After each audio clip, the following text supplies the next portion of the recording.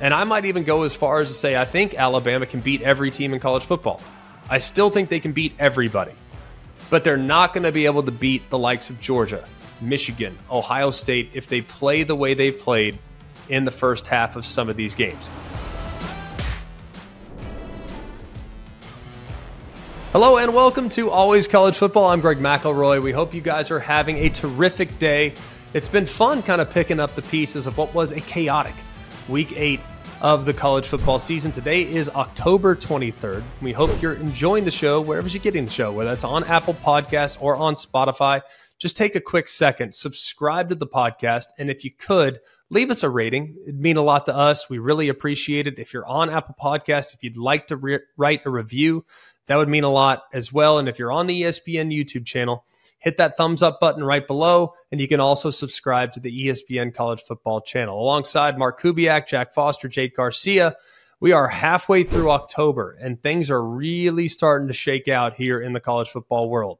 This past weekend delivered some really impressive performances. We saw some teams get massive wins like Ohio State, like Alabama. We saw some teams look a little bit flat, but somehow find a way to win. We've forgotten that the most important part of playing the game each and every week is to win. Yes, I like style points too, but survive and advance. And a handful of teams had to do just that, like Texas, like Oklahoma, like Washington. There were some less than stellar performances, but either way, they found a way to get it done at the very end. So we'll break all those things down, telling you the 10 takeaways that we had from this past weekend. And we're going to dive into the AP poll.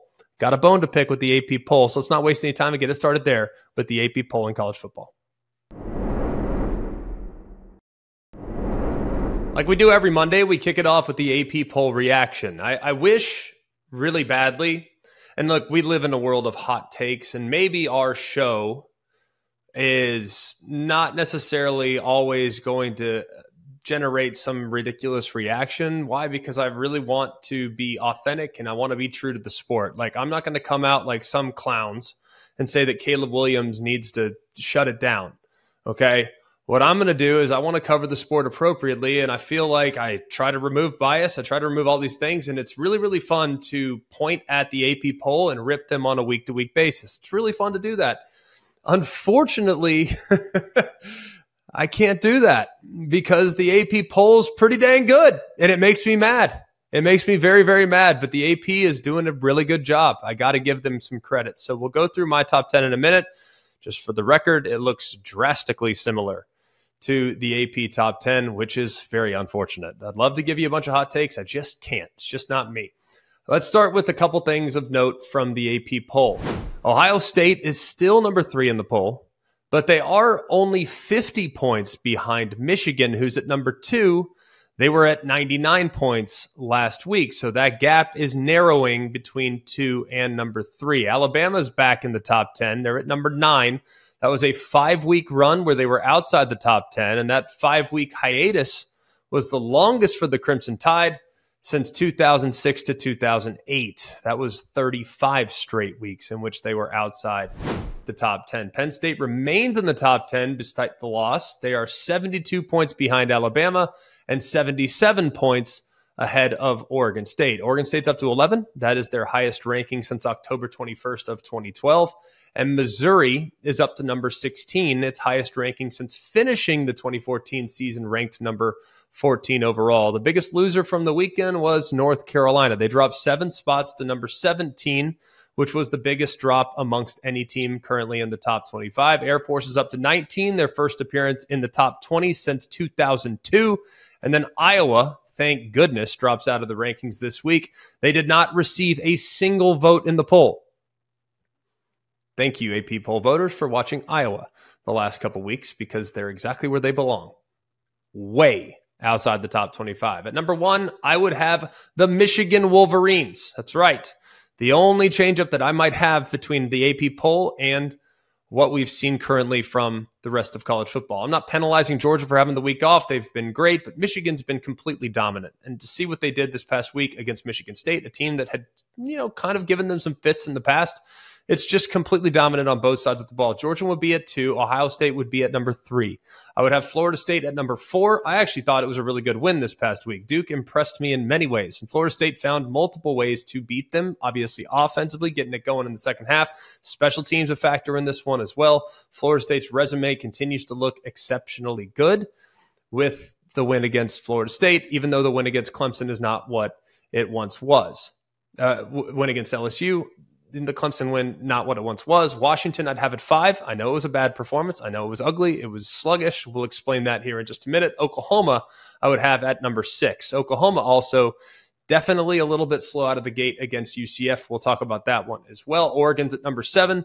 They are the number one one loss team in America in my eyes. Saw them in person this past weekend. Thoroughly impressed with what they have running the football. And I think defensively, while there are areas where they can address, that's a pretty good group from top to bottom. Cam Ward had to play out of his mind just to put 24 points on the board, whatever it ended up being, I think is what it was. Anyways, Texas would be at eight. The injury to Quinn Ewers is one that we will monitor moving forward. He's going to miss some time. It's just a matter of how much, but I will be curious to see how Maalik Murphy, who had a great offseason, how he fits into the starting role for the Longhorns. Bama's at number nine. That's where I'd have him. I think it's appropriate. They have a pretty good resume. The win over Ole Miss looks a little bit better. And then, of course, with the bye week and LSU game looming here in two weeks, we'll learn all we need to know about the Tide here in the next couple weeks. And then finally, at number 10, I don't have Penn State. The AP does. Penn State's offense was anemic. I'll explain that again here in a minute. So I'm going to put Oregon State in there. But being number 10 is not a good thing.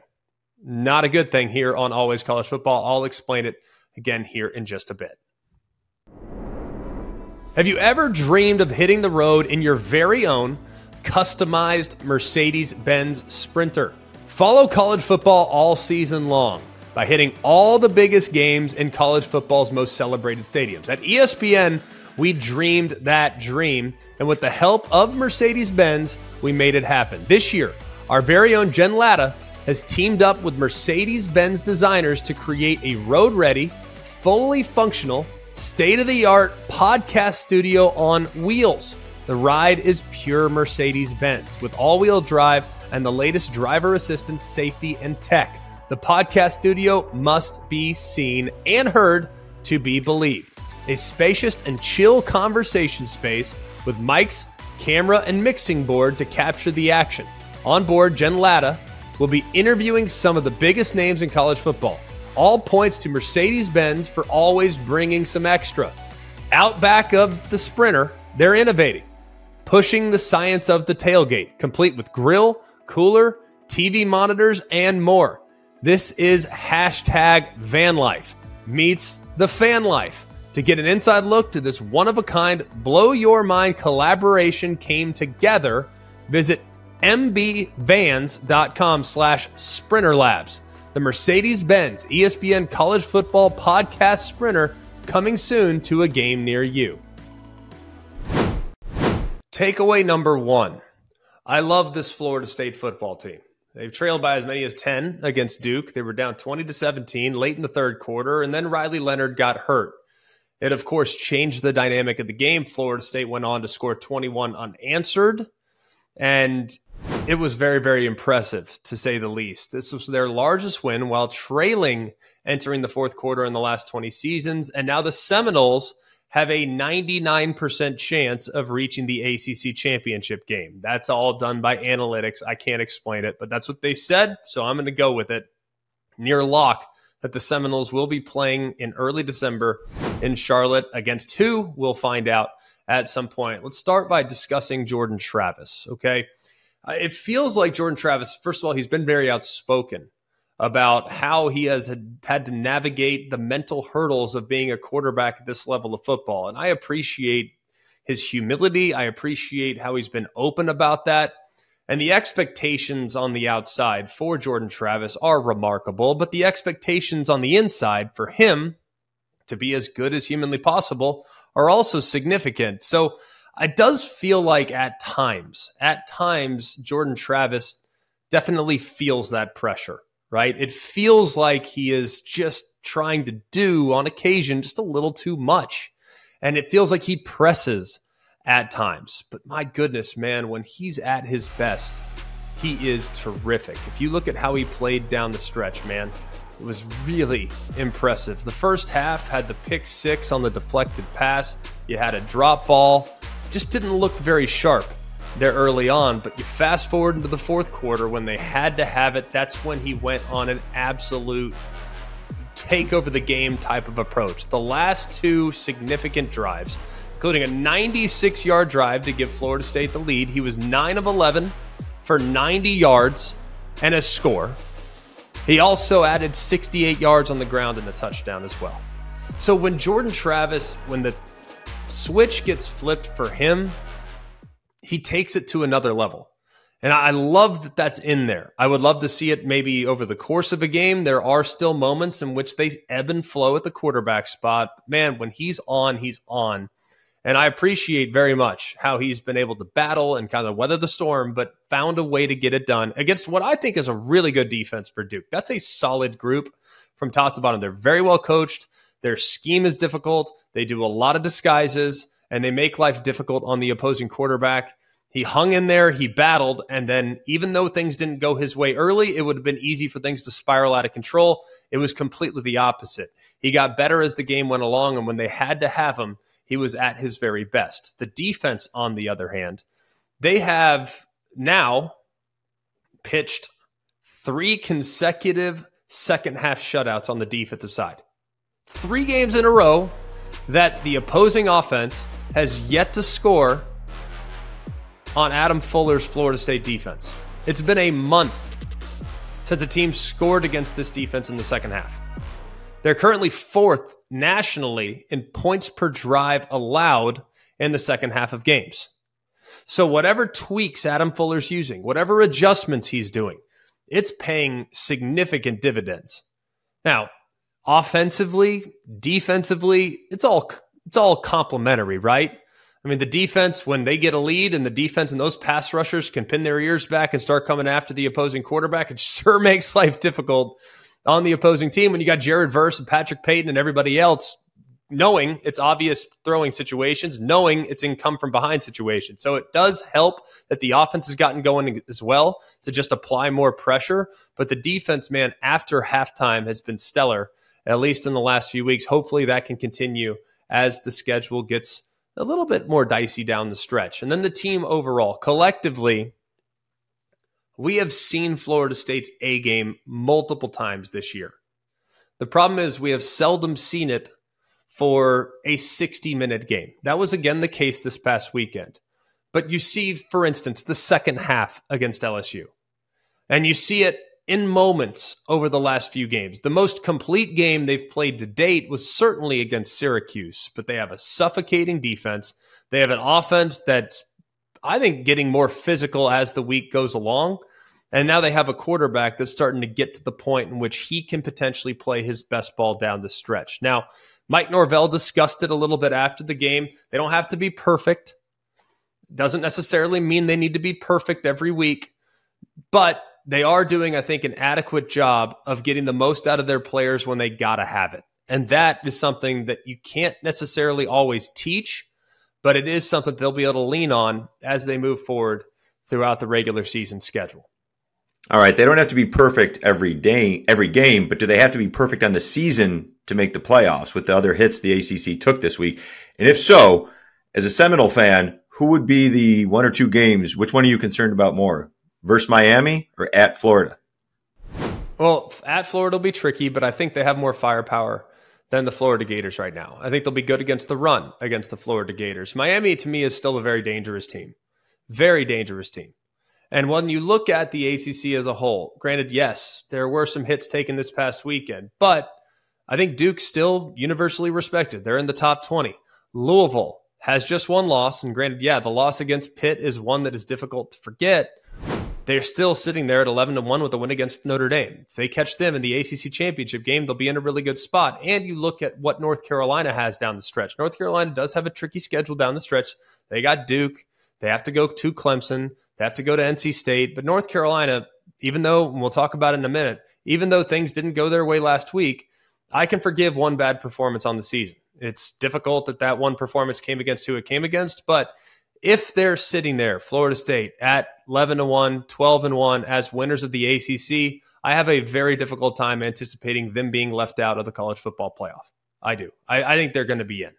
Uh, just given how the team has played, some of the wins, maybe the LSU game gets better. That could become a marquee win for them in time. They've, obviously, some of the wins they've already mounted to this point. So it's not their fault that Clemson didn't hold up their end of the bargain, but I'm looking more and more at the kind of the slate right now across college football. I have a difficult time thinking there's two teams from one league that are going to get in the playoff. I think you're going to have four different conference championships in the college football playoff quartet. I think Florida State, if they continue to play the way they've played, has a very strong possibility of being one of them. Takeaway number two if Alabama could put 60 minutes together, they would be ridiculously dangerous. Now, slow starts for the Crimson Tide have kind of become the norm, kind of starting to get used to it, to be honest with you. This past Saturday against Tennessee, that is their fourth consecutive game in which their opening offensive drive resulted in a three and out. So far, so far, if you take out the Middle Tennessee game and take Middle Tennessee out for a moment, because that's just, they're just not a good football team. So you just got to remove them. And that's not an indicator of where the tide is currently at offensively, at least early in the game. If you remove that game, Alabama is currently averaging less than two points in the first quarter of their games. 1.8 to be exact. The first three offensive drives this past weekend totaled 10 plays for 30 yards and a turnover. Obviously, that was the fumble that led to the field goal that ultimately gave Tennessee the 10 0 lead. Okay. Now, the deficit got cut on the 10 yard touchdown from Milroe to Burton, but that was really the only bright spot there in the first half of the football game for the Tide. Seven possessions, resulting in one score, three punts, two turnovers, and a really, really ugly 13 point halftime deficit. But Alabama now, for how many times this year? How many times this year have we looked at Alabama in the first half? And I know I saw my Twitter. I was on the call of Oregon and Washington State, and I had people tweeting at me talking about how inept Alabama looked in the first half of the football game. And I didn't respond because I'm in the midst of working on my own game. But I'm sitting there thinking to myself, I'm like, just hang in there. Because for whatever reason, whether it's against Texas A&M, where they had to rally in the second half, against Ole Miss, where they had to rally in the second half, against Tennessee this past week, rally in the second half. There have been so many different occasions in which they looked great in the final 30 minutes. Now, there are also a couple of games, for instance, the fourth quarter performance against Texas, the second half performance against Arkansas, where it just felt like they kind of exhaled and took their foot off the gas a little bit. But they've found a way to figure it out in the second half. I mean, they're down 20 to 7 at halftime. The third quarter, 29 yard play to Jase McClellan. Then you get the 46 yard touchdown to Isaiah Bond. In two plays, touchdown. And next thing you know, you're starting to create a little bit of a snowball effect on the Tennessee Volunteers. Well, the defense, they get even better in the second half for whatever reason. You get a guy pinned down their own inside their own 10, you go force a three and out. They obviously decide a little later in the game to go for it on fourth and one. Alabama gets the stop, and then ultimately that was all she wrote. So this defense has played much better. They, of course, got the strip sack too and the scoop and score to kind of put the game on ice and a second half shutout.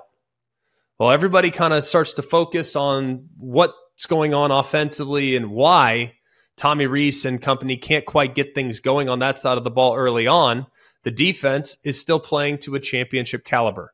It's just they got to figure out a way to start the way they've finished on multiple occasions this year. I've said it all along. I've continued to harp on the fact that Alabama can beat every team on their schedule. And I might even go as far as to say I think Alabama can beat every team in college football. I still think they can beat everybody but they're not going to be able to beat the likes of Georgia, Michigan, Ohio State if they play the way they've played in the first half of some of these games. If they play the way they've played in the second half against A&M, Ole Miss, Tennessee, they can beat anyone. So a 60-minute performance is looming. Alabama now heads into the bye week, and I think it's going to be a good opportunity for them to catch their breath, to assess, all right, here's how we're starting the game. here's the script offensively that we're starting the game with. I think Tommy Rees needs to sit down with Jalen Milroe and said, all right, what are you comfortable with? Tell me what you're most comfortable with, and we'll make sure that we use those parts of the plan earlier in the game.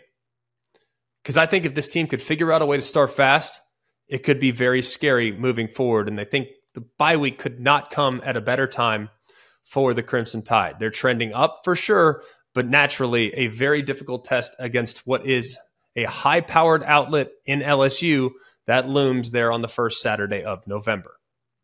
If they put 60 minutes together against LSU, do you think Alabama could put 60 minutes together in three straight games against Georgia and then in a playoff and then for the national championship? Well, let's let's not get too far ahead of ourselves here. Well, you just said they could beat anybody. I was like, okay. I mean, I believe they can, but do you think they can yeah. put it all together in that stretch? One would hope. I don't know. I, I don't know the answer to that. I mean, I'd I'd love to tell you yes, but I don't know that for sure. I mean, I think teams that are herky jerky, and the reason why I started with uh, Florida State and Alabama because there are some similarities between the two. When they flip the switch, they're unbeatable, or they at least appear unbeatable. But when they're playing poorly, they're extremely beatable by anyone. I mean, the ups and downs are pretty remarkable. I mean, the fact that Boston College, I know Boston College isn't bad, but Boston College had Florida State on the ropes at one point. It was almost unthinkable that Florida State could lose to Boston College with how they'd played up to that point of the season. There's also unthinkable to think that Bama looked as hapless as they did against South Florida. But when they flipped the switch, man, they're a completely different team. It's just if that switch could flip in the first quarter for some of these teams and they can go the distance, it'd be really, really scary. But man, the ups and downs are a little tricky. And and that's something that I think Nick Saban's trying to manage, Mike Norvell at Florida State's trying to manage. I think all teams are trying to put together 60 minutes naturally, but man, it seems like it's harder for some teams than it is for others. Let's go to takeaway number three Tennessee's road woes continue. And at some point, they're going to have to figure this out. Uh, now, Joe Milton, we'll start with him. First half, I mean, he was the guy that we thought Joe Milton might be coming into the season. I mean, he was running the ball, he was being decisive. He was getting downhill. He was running through guys, making guys miss. He showed touchdown field. He wasn't he wasn't perfect in the first 30 minutes. But I don't think anybody at this point expects Joe Milton to be perfect. But for you to look at the halftime line of 16 to 22, 175, you think that's pretty dang good, especially what he did just a week earlier against Texas A&M. I mean, he did not look comfortable at all against Texas A&M, but against Alabama in the first 30 minutes, a couple touchdowns. Uh, obviously had 43 rushing yards on eight attempts there in the first half. But then in the second half, Bama adjusted a little bit with how they played defensively. They changed their front along the defensive line, and it was almost just a completely different looking Tennessee offense there in the second half of the football game. That's now multiple times now, in hostile environments this year, where the Vols have not played good football, three extremely bad halves of football. Obviously, losing to Florida the way they did, and then the second half against Alabama, they couldn't do anything right. Now, they're still in a great position to get to a high level bowl game, but guess what? There's a couple of road trips looming that need to be of concern for Tennessee fans because for whatever reason, they can't put it all together on the road. I don't know why that is. I can't explain it. Maybe it's the way they run their offense. Maybe it's the nonverbal communication. But for whatever reason, when things start to get away from them, they get away from them in a hurry. And that's not going to be very good when you have to go to Kentucky this week and then a road trip to Missouri a little later in the season. Now, here's the sequence that really flipped things for Tennessee. Now, Tennessee, of course, had the fair catch confusion on the kickoff. Bama then forced the three and out, got the ball back immediately. Bama goes right down the field, kicks the 42 yard Will Reichard field goal. And then the lead was cut to 20 to 17. Well, the next drive, you get the fourth and one, in which Jihaad Campbell stops the running back. I believe it was Sampson there. And now Bama has the ball in Tennessee territory. McClellan, just a couple plays later, takes touchdown. Now Alabama's got the lead 24 to 20, a lead that they would never relinquish. Now, the fourth and one call is the one that I'm going to highlight, at least for the moment. I don't have a problem going forward on fourth and one at your own 47. I don't, however, like the fact that they handed the ball to Dylan Sampson. I don't. Here's what I would do. Now, hey, hindsight's 2020. Okay. Hindsight is 2020. They had multiple fourth and short failures. Explain to me this. What have we learned from watching the Philadelphia Eagles the last couple years? What play is unstoppable? That'd be quarterback sneak with offensive players pushing the quarterback. Your quarterback's six foot five, 240 pounds. They need to think strong, strong, strongly about giving the ball in a quarterback sneak situation in a fourth and short, third and short situation. They need to get the tush push play installed because nobody can found a way to stop that yet. Especially when you have a strong, physically capable quarterback. So that is one that I think they would love to have back. But man, for whatever reason, Tennessee's got to get things figured out on the road because if they don't, they might find themselves here as we fast forward down the stretch of the season looking at it eight and four because a road trip to Kentucky and a road trip to Missouri, those aren't likely to be victorious if they don't play better on the road. And also, let's take it one step further. You got Georgia coming to your place where you've played well, but we know Georgia is by far their most difficult game remaining on the schedule. Takeaway number four you're allowed to have a bad day in college football. You're allowed to have a bad day, but some days are definitely worse than others. Now, a lot of people are going to just crush Washington and and crush Texas and, and crush Oklahoma, but these teams all won the game. They all won the game. Now, was it was it fun to watch? Was it easy to watch? Absolutely not. Let's start with Washington since they're ranked number 5. Favored by 4 touchdowns, you escape 15 to 7 in a win against Arizona State. I told you this game was going to be close. I told you it was going to be dicey and that Arizona State was 14 to 1 against the spread in the last 15 games against Washington. A lot of people are like, "Why don't you just tell us our your picks against the spread?" I tell you the trends, and if you listen to the trends, you're probably capable enough to figure out which way I would lean against the spread. And this one was very, very clear. If not for the Mishael Powell 89 yard pick six in the fourth quarter, then this was probably going to be a game that might have resulted in a loss. But Washington found a way. Michael Penix did not have his best stuff. A couple picks, couple fumbles, three total turnovers after having just three the entire season entering Saturday. So they got to figure some things out, but they found a way to win and they had like their D minus game in the process. So, hey, take it and run, but it was ugly, no doubt about it.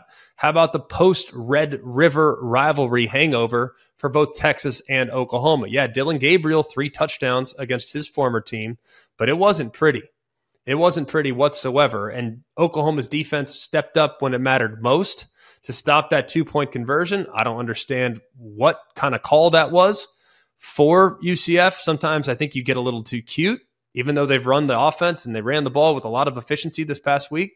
But for whatever reason, they decided to do that, decided to get a little tricky, and it and it certainly was not a good play whatsoever. But Oklahoma trailed more on Saturday for 21 minutes and nine seconds than it had in the first six games of the season combined. They had only trailed for 12 minutes and 11 seconds. That was the fewest time trailing among all FBS teams entering the day. So they didn't play their best stuff, but they survived. Texas also looked a little lethargic there in the second half of the football game. They charge out. I actually changed the channel because it looked like they were going to run away with this thing against Houston. Up 21 nothing in the second quarter. They found themselves tied 24 all late in the fourth. Now, CJ Baxter obviously had the touchdown with five minutes left, and that was the ultimate difference. But Quinn Ewers, couple touchdowns, no interception, but he got banged up. So that's something to keep an eye on for sure. But Texas goes on the road, could have been a flat spot. They found a way to win. I was very surprised by that performance, to say the least. And then finally, those three teams won. North Carolina did not. Now, 24 point home favorite, and you lose a game to a Virginia team that did not look very good all season long. They had been completely hapless. And it obviously impacts North Carolina's possibility of getting to the college football playoff. But you think about where Virginia was, the only team they'd beaten this year was William and Mary. And that game, by the way, was tied throughout the first half. It's pretty wild to think that they pulled off the second biggest point spread upset in the ACC in the past 30 years. And that was the easiest game remaining on North Carolina's schedule. And that's a loss that could reverberate not just for their own playoff candidacy, but for everyone else's playoff candidacy as well. It was an inexcusable loss, and it's hard to even wrap your head around because it could have been worse. If not for the fumble out of the back of the end zone that resulted in a touchback for North Carolina, it could have been worse. Think about what North Carolina has left at Georgia Tech. Were they really looking ahead to Georgia Tech this past week? And that's why they came out flat and uninspired on both sides of the ball. Can't imagine. Obviously, Georgia Tech got them last week, last year. So, hey, this is not necessarily a slam dunk this week on the road at Georgia Tech. Then they get Campbell. That's a lock. You got Duke at home on November 11th. You go to Clemson on November 18th, and you go to NC State on November 25th. So they need to tighten up and tighten up quickly because that was an inexcusable performance from the Tar Heels after they looked so good in the first six or seven weeks of the season. Back to Texas for a second and the Quinn Ewers injury. The schedule doesn't look too daunting for what they have BYU, K State, at TCU, at Iowa State, and Texas Tech. But how concerned would you be if, a, if you're a Longhorn fan about running the rest of the table? Well, I mean, I'm really concerned. K State's looking better. Uh, I think BYU's a tricky game. BYU's sitting there as a quiet five and two. I mean, I think things have gotten a lot more dicey, and depending on how long Quinn Ewers is going to be out, I don't know how good Maalik Murphy is. I think he's pretty good. People swear by him. People said he had a great spring. People say he's really capable of taking the lead, if not, if in the event in which Ewers was unavailable. People said that he's got a ton of ability and might be just good, just good enough to be able to contribute in the run game and all these other aspects. But uh, yeah, I'm real concerned if I'm Texas, especially knowing what happened last year when Quinn Ewers got hurt. Hey, college football fans, whether you're on the field or in the stands, make sure you're well protected, like having a solid defense to shut down that wide receiver in the final quarter, opening lanes for your running backs to do their thing, and of course, reliability when protecting your quarterback, because great coverage is a game changer. That's why Allstate provides that same protection off the field giving you reliable coverage and game winning protection for everything that matters, helping you stay game day ready every day. So get protected with Allstate. Visit allstate.com or call a local agent today to learn more.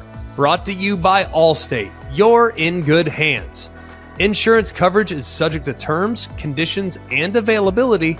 Allstate Fire and Casualty Insurance Company and affiliates Northbrook, Illinois. Takeaway number five Michigan right now is the most complete team in the country, and JJ McCarthy should be in the Heisman conversation. Now, they have outscored their first eight opponents by an average of 35 points per game. And you can say, well, it's because they're, you know, it was a cakewalk in the non conference. Well, all right, let's just use Big Ten play for an example. Their margins of victory are 24, 38, 42, 45, and 49, including a 49 0 shutout against their rivals in East Lansing on Saturday night. That is the worst home loss in the history of Spartan Stadium. Now, I understand very much that a lot of people are already poking holes and, well, who's it against? Fair enough. Michigan's five Big Ten opponents are a combined 7 and 14 in league play. Their best win up to this point has come against Rutgers. Okay. But you have to look at the standard to which they're playing. It's not like they're messing around. I mean, how many teams did we just reference a second ago? With Oklahoma, Texas, Washington, teams that are playing down to the level of the competition. We're not getting that from Michigan right now. Michigan is playing to their standard and as a result is flexing on every single team that they have a significant advantage against. And JJ McCarthy, people are starting to take notice. JJ McCarthy, now in Vegas, is the favorite to win the Heisman Trophy. He's now moved ahead of Michael Penix because Michael Penix had three turnovers this past weekend.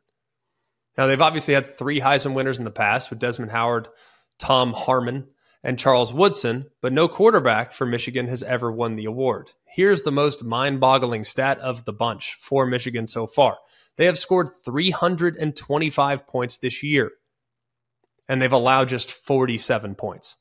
They're the third team in the last 60 years to score 325 or more points and allow fewer than 50 through the first eight games of the season. They're the first team to do it since Florida State back in 1993. We all know what happened with Florida State back in 1993. What I'm also impressed with is that we know they have great running backs, right?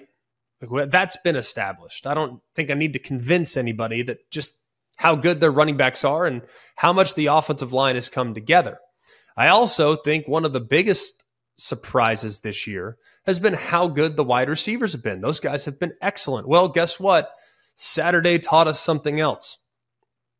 They now have, I think, two real legitimate difference makers at tight end. And with how they style their offensive attack, having tight ends that can really put fear in the opposing defense is significant, man. I mean, Colston Loveland and AJ Barner, they had yet to really been unleashed, right? They'd yet to really kind of be featured within the offense. Well, Saturday night they were 12 catches, 178 yards, and three touchdowns. Now, here's one thing that I think is really different for Michigan this year is that they were a team that had to stay on schedule. They had a team that had to methodically work their way down the field in order for their offense to be successful. They couldn't get themselves in negative plays and overcome those negative plays. They needed to have on first and 10. They had to gain four or five to sit at second and five, gain two or three on third down, on second down to set up third and manageable, so on and so forth. They methodically worked their way down the field. That is not the case this year. If you got them behind the sticks, their drives were dead in the past. That's not the case this year, man. They can overcome very difficult down and distance. They can overcome penalties. They can overcome very difficult spots. And there were a bunch of examples this past weekend in which they overcame those spots. That's a crazy, scary thing for opposing teams because even if you win on first down and you sack JJ McCarthy to set up second and 18, it might not matter anymore. Here's a couple of examples of downs they overcame. They overcame a third and 14. They overcame a third and 13. They overcame a third and eight. And they overcame a second and 18. It's pretty wild. And you think they converted on all four of those long yardage off schedule situations en route to a 21 nothing lead before Michigan State finally got off the field on third down. I'm telling you, man, this Michigan team is the real deal. And I can't wait until the schedule strengthens because when it does, I think they'll finally start to get some of that universal respect as potentially the best team in college football. But nobody's going to say that right now because of just how bad some of the teams on their schedule have been up to this point of the season. Do you think Michigan can keep the focus? Like you hear the outside noise, you hear the NCAA investigation. It feels like it's Michigan against the world right now. You think they can keep the focus for the next four weeks? Yes. This is right. well, I mean, they haven't played anybody. All of a sudden, they have Maryland. It's a two-time defending Big Ten champ. Yes, they can keep the focus. Absolutely. I think this is a mature football team that can beat you in a lot of different ways. And I, I remain crazy optimistic about what this team's ceiling looks like. But we all know what's looming for Michigan games against both Penn State and against Ohio State. So let's talk about those opponents and what they did this past weekend because it was a tremendous, tremendous game between the two. Takeaway number six Ohio State and Ryan Day, they have evolved. A lot of people are like, well, hang on, what does that mean? They have evolved. But at the same time, it's still players over plays. Saturday's game was very, very simple. there were two elite defenses on the field. But you know the biggest difference in Saturday's game? One team had Marvin Harrison, and the other team did not. Now, if you look at Marvin Harrison, it wasn't even his best game. He had a couple drops in the first half, but there was never a doubt that when there was a play that needed to be made, it was going in the direction of Marvin Harrison. Every time. Now, you also take into account who he did it against. It's not like Penn State's chopped liver. Penn State entered the game with the nation's top ranked pass defense. They gave up just 121 yards per game through the air coming into Saturday's game. Marvin Harrison exceeded that mark all by himself. He was tremendous in this game. But here's where Ryan Day has evolved.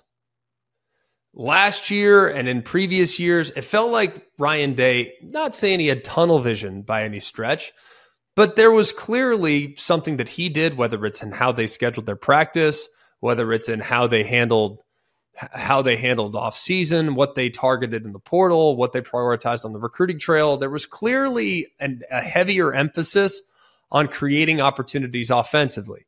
And the defense, for whatever reason, it was kind of put on the back burner a little bit. Just a little bit. Not not to the extent in which they, you know, didn't care about the defense, but they utilized tempo. They wanted to emphasize scoring points.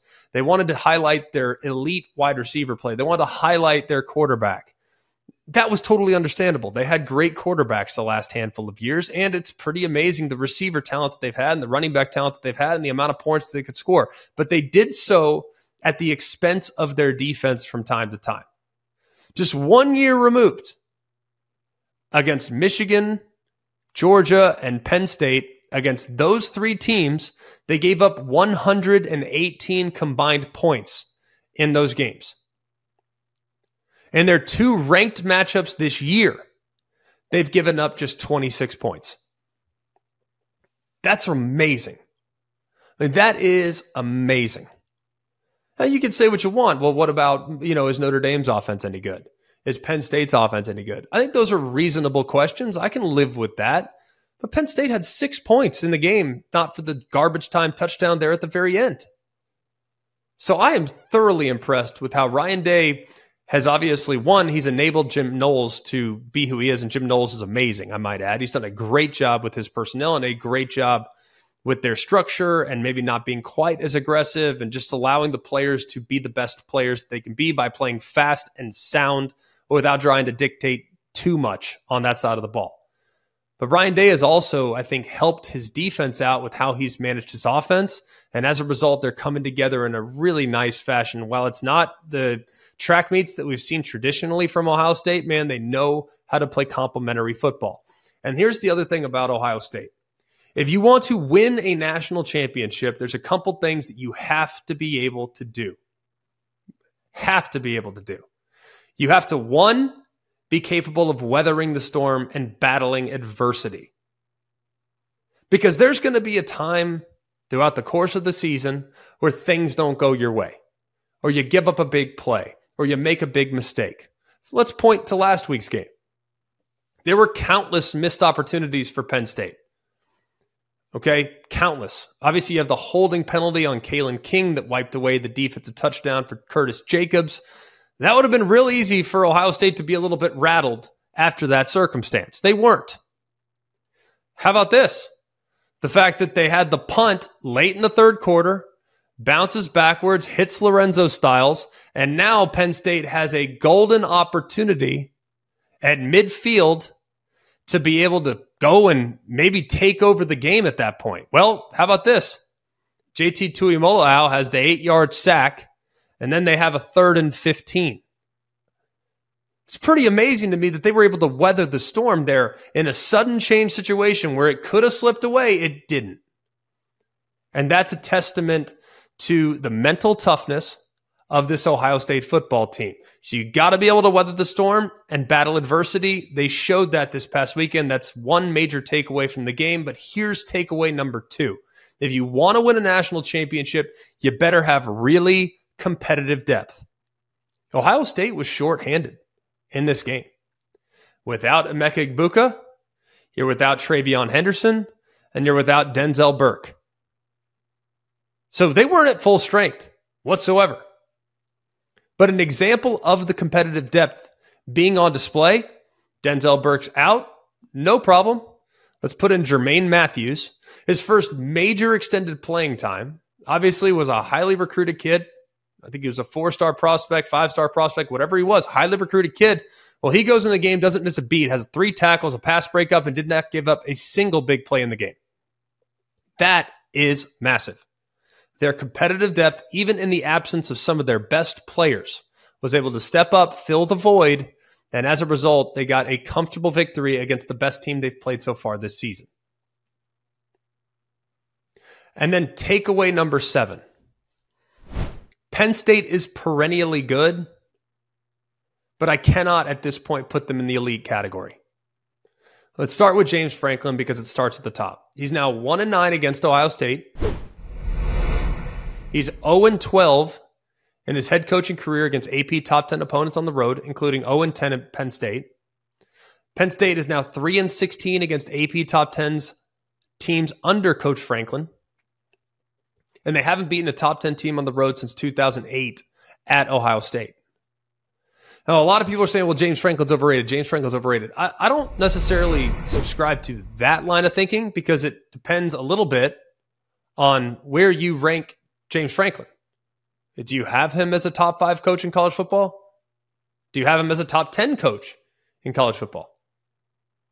Because for someone to be overrated, he has to be rated too highly. But I don't think anybody has James Franklin in that spot. But we found again that while he can recruit and the roster is good, they're not quite where they need to be just yet in some positions in particular. Let's start with the quarterback, Drew Allar. He wasn't the guy on Saturday, man. Like this was supposed to be the five star guy that's going to go out there and create all these big plays. He's got a big arm, super accurate, five star dude. But if you look at his performance, he didn't play very well. Now we'll get to the receivers in a minute, but he was off target on 17 of his 40 attempts. That's 42.5% of his targets were off target, uncatchable, if you will. So he's got to be more accurate. And I think the, the protection around him, because he did throw under duress multiple times, the protection around him has to be a little better as well. Because one of our big question marks about Drew Allar was would he be mobile enough if the pocket isn't great? That's what Sean Clifford did a great job of throughout the course of his career. Love him or hate him, he did extend plays. Drew Allar has not shown the ability to be able to do that just yet. And even from the pocket, there were some big misses in the game on Saturday. How about at wide receiver? The big question all throughout the offseason was did they have a number one? Did they have the big playmaking ability? Thought Keandre Lambert Smith could maybe be that guy. But answer me this if you take Marvin Harrison and put him on Penn State, do they win the game on Saturday? I, I think it's a legitimate question. I think it's a possible question. And they've done a good job of developing quality wide receivers over the course of James Franklin's tenure. We think about Chris Godwin and DaeSean Hamilton and KJ Hamler and and Jahan Dotson. They've done a good job of, of developing players. But you think, well, I'm going to go to the portal and I'm going to bring in game changers. I'm going to bring in some transfers. I'm going to bring in Dante Cephas. I'm bringing in Malik McClain. Well, those two have combined for just 15 catches. They have to find elite wide receiver play, whether it's in the portal or in a high school recruiting, because that is the position group right now that is most notably the biggest drop off for Penn State when evaluating them up against Ohio State. They got the defense, they got the running backs. I think in some ways they have the offensive line, but the wide receiver group collectively is not where it needs to be. And that, like we'll talk about on Wednesday's show, is a premier position currently in college football. The biggest issue for Penn State in this game was on third down. When you go one for 16 on third down, the lone conversion coming on the last drive of the game, 6% third down conversion rate is the worst by any AP ranked team in the game over the last 10 seasons with at least 15 third down attempts. But if you chart how those third downs actually failed, five of their 16 third down attempts were throws that were off the mark. They had two drops. They had two really well defended passes. So that means the receivers weren't able to create enough separation and they got hit at or behind the line of scrimmage multiple times. That's two times. So that's 11 of their 16 third downs. Off target, five, drops two, passes well defended two, and rushes hit at or behind the line of scrimmage two. They failed to move the chains all the way up until the face mask penalty, obviously. That was with four minutes to play. And at that point, it was all she wrote. Now, the defense was up to the task. Ohio State couldn't run the ball, just 41 attempts for 79 yards. They made Kyle McCord at times look uncomfortable. Uh, obviously, I think the pass rushers made their presence felt. But Marvin Harrison, they didn't have an answer for him. But everybody on the Buckeye team was creating separation. Everybody. According to some next level analytics, they were wide open or open. I don't know how you qualify one or the other. To me, it's binary. You're either open or you're not open, but they were either wide open or open on 23 of the 35 pass attempts for Kyle McCord. That's 66% of the pass attempts where the receiver that they were going to was open. So they did not do a good job in the back end. I know Marvin Harrison's a difficult one to keep up with, but at the same time, the defense, if there was one issue, it was certainly in the back end against a quality passing attack that Ohio State had at their disposal. Mmm, you smell that? That's the scent of fresh turf and freshly cracked Dr. Pepper, which can only mean one thing it's college football season. So block off your Saturdays and swipe a sweet Dr. Pepper from the mini fridge because there's a new season of high kicks, long throws, and Fansville commercial breaks to carry you all the way to the West Coast games. That's right, the fans are back, and this year things are heating up. We're talking about hot takes, more heartbreak, more layers of face paint. Get ready to drink in all the drama this season with the help of the most delicious college football tradition there is Dr. Pepper, the one fans deserve. Takeaway number eight. We're about to find out what USC and Lincoln Riley are all about. Now, of course, they came up short this past weekend against Utah. Utah's now won four in a row against USC. That's the second most consecutive wins against USC by a Pac 12 school in the AP poll era. And when you look at where things were, okay, the final drive, because this was pretty wild. I mean, I understand that it was an unfortunate roughing the passer call. I get that. I understand that there was that great scramble there by Bryson Barnes after the pass rush lost contained, but that was a frequent problem throughout. The reality is that we're going to find out over the next month and a half what USC is all about.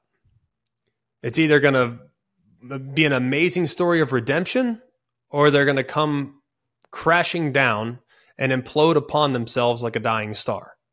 And I really hope, really hope it's the story of redemption because Lincoln Riley and company, they've never really been in the spot. Obviously, at SC, they were a game away from getting to the college football playoff last year. It was really remarkable to see just how quickly he had flipped that thing around to where they were playing high level football. But this is really the first time where before the calendar flips to November, they don't have a lot that feels like they still need to play for. Now, getting to the Pac 12 title game, still very much a possibility. That can absolutely happen. But you think back to his time at Oklahoma. He stepped into a program with a great established culture that Bob Stoops, his predecessor, had kind of set up. They had a DNA that they expected to win. They won conference championships before him. They won a ton of conference championships after him. Thought maybe he'd be able to go to SC and just flip the script and just things would be just right as rain. This guy's a game changer, a game tra- changer. But now he's going to have to do something that he's probably never had to do before. He's going to have to look internally and figure out how do I build this thing into a consistent winner. Now, I think it's real easy to look at USC and say, man, they're one of the biggest disappointments of the college football season so far. I won't push back on that. They have been disappointing because some of the progress that you'd hope they would have made just hasn't necessarily materialized. But I think some of the expectations coming into this year were a bit aggressive. Now they can still win the conference. They're six and two, four and one on the Pac-12, but they have clearly, in some ways, taken a step back from last year. A defense that probably wasn't going to be able to rely on 20 plus turnovers. They've had a significant regression in that department. The schedule is much more difficult this year as well. But don't sleep on USC down the stretch. They still have one of the game's most talented players in Caleb Williams. They still have quality personnel. Yeah, they lost to a team that's had their number. There's there's no denying that. They've lost two in a row. So everyone's saying that, you know, it's over for Lincoln Riley, but he does need to look in the mirror and evaluate how do I adjust so that my team can win games in a multitude of different ways. Because if the offense isn't clicking on all cylinders, they're probably not going to win. We just talked a moment ago about how Ohio State has won games this year. Know why? Because Ryan Day has adjusted. And it doesn't have to be a track meet where the offense is high powered and scoring 40 plus to win the game. Sometimes you have to have more than just a fastball. And right now, USC doesn't have that. So hopefully, Lincoln Riley will adjust and adapt and we'll learn a lot about the culture of this team moving forward. But they're at a crossroads and they need to make some adjustments quickly if they want to contend for championships down the road. Takeaway number nine sometimes offense can be offensive. Now, entering Saturday, no FBS team had won a game this season in which it failed to score an offensive touchdown. They were 0 and 47 in those games. You heard that right. No FBS team had won a game this year in which they failed to score an offensive touchdown. 0 and 47. Well, that all changed on Saturday. Three teams won games on Saturday that failed to score an offensive touchdown. That's the most of any day in the last 20 seasons. Let's start with Minnesota. They defeated Iowa. Iowa, obviously, they won the game and then they lost the game in the most insane way possible. Looked like the Cooper DeJean punt return touchdown with a buck 21 remaining. Looked like they were going to somehow find a way, but obviously they had the fair catch, no fair catch thing, whatever it was, invalid fair catch. They almost escaped. They almost escaped. But 127 yards of offense, and yet you still almost had a chance to win the game. Obviously, it was a controversial ending, and Minnesota now sitting at four and three. That's their first victory over Iowa in Iowa City since 1999. But Nevada defeated San Diego State 6 0. Nevada won a college football game for the first time in 413 days on Saturday. The Wolfpack went to San Diego State as an 11 point dog and snacked a 16 game losing streak with a 6 0 victory. They hadn't won a game since a home win against Texas State on September 3rd of 2022 and then Washington obviously beat Arizona State. Washington almost almost lost this game and if not for the Mishael interception return, they would have obviously come up a little bit short. So just because teams didn't score offensive touchdowns this week doesn't mean they weren't victorious because I just gave you three examples in which it wasn't pretty whatsoever, but they somehow found a way. You also had the Mississippi State 7 3 win against Arkansas, which was the first conference win for the Bulldogs this season. The seven points scored by the Bulldogs are the fewest in a win by an SEC game since Auburn beat Mississippi State 3 to 2 in 2008.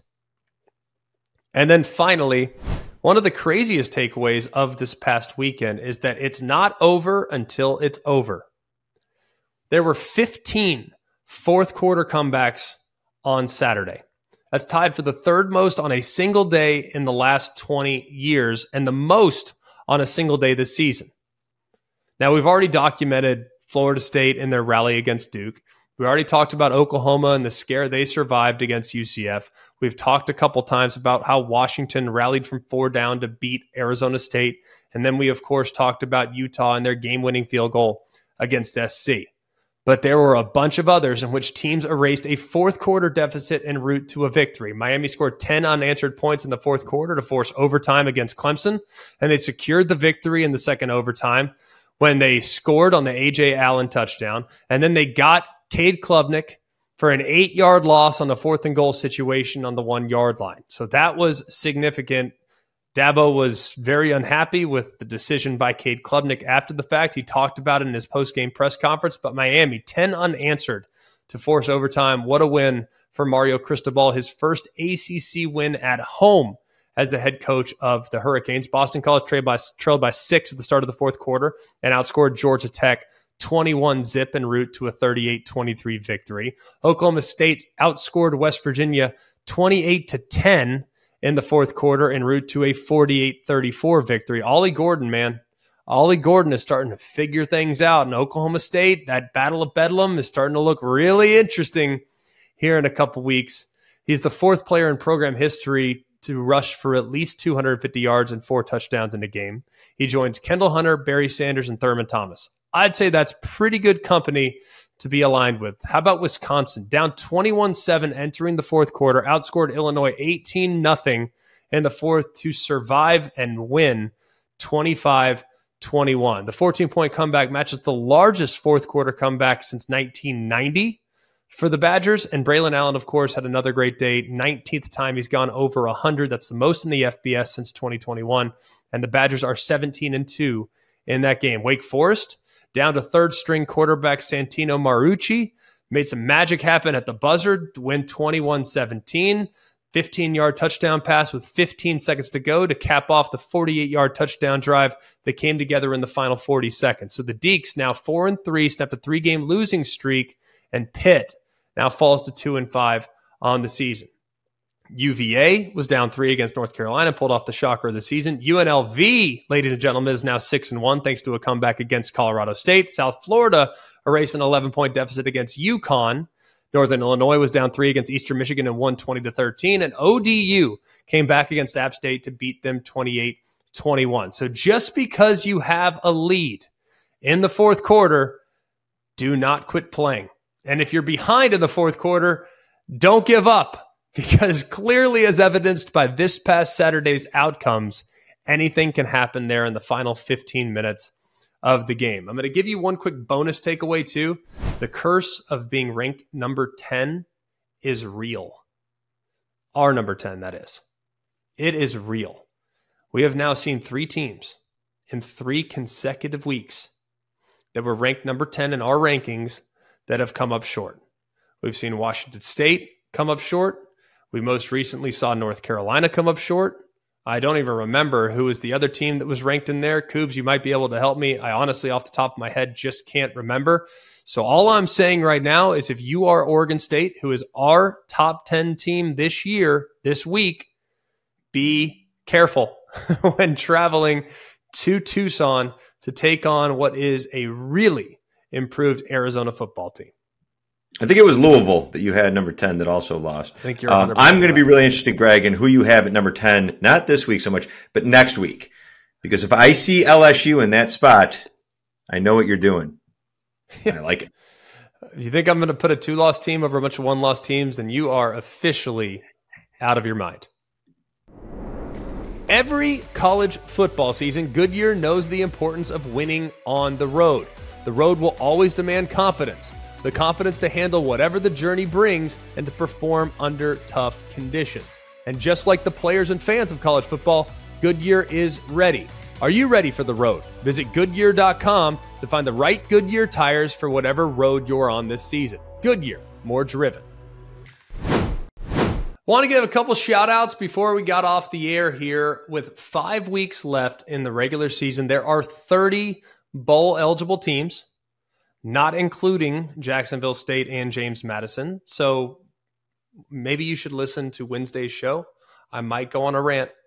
I might go on a rant on Wednesday's show because James Madison and Jack State both above the six win mark, and they will not be going to the postseason as of right now. But want to give a shout out to UNLV. They beat Colorado State 25 23. They're now six and one on the season, and the Rebels are now bowl eligible for the first time since 20- 13. So shout out to Barry Odom and the job he's doing there in Vegas. And then Rutgers, Rutgers, they are going bowling. The Scarlet Knights are six and two. They hit the six win barrier for the first time since 2014 with the big win over Indiana. Now they needed it too, because if you see what's coming down the stretch for Rutgers, it's a doozy, man. You got Ohio State, Iowa, Penn State, Maryland on the docket the rest of the way. So getting to six and two is massive for Greg Schiano and the Scarlet Knights. Thanks for being with us. We so appreciate all of you for listening to the show and consuming the show wherever you get it. We continue to ask you kindly, if you could, subscribe to the podcast wherever you get your podcast. Okay, it's on Spotify, on Apple Podcasts, wherever you get your podcast. Subscribe to the podcast, and if you could just take thirty seconds to leave us a rating, five stars would be much appreciated. But leave us a rating, that'd be awesome. And if you could on Apple Podcasts, write us a review. We read those, it means a lot to us, and it helps us better understand what you guys prefer when putting together this content on a week to week basis. Tell your friends as well. And if you're on the ESPN YouTube channel, subscribe to the ESPN College Football channel and hit that thumbs up button in the video right below. We so appreciate all of you for being a part of the journey here on Always College Football. And for all of us, for Mark, Jake, Jack, I'm Greg. Also, shout out to the other Jack, who's a diehard Ohio State fan. Glad that he could make it today after they win this past weekend. He hasn't been around much the last couple weeks, but now that they're sitting undefeated and sitting in a really, really good spot, it's nice to know that he's going to be a part of the show moving forward. Thanks to Sharif, thanks to Dylan as well. All of us, everybody that helps us here at Always College Football, we are eternally grateful for. For all of us here at Always College Football, we hope you have a tremendous day. Remember, it's always college football. Hey guys, it's Greg McElroy. Thanks for watching Always College Football. Make sure you like, rate, and subscribe to ESPN's YouTube channel and wherever you listen to your podcasts.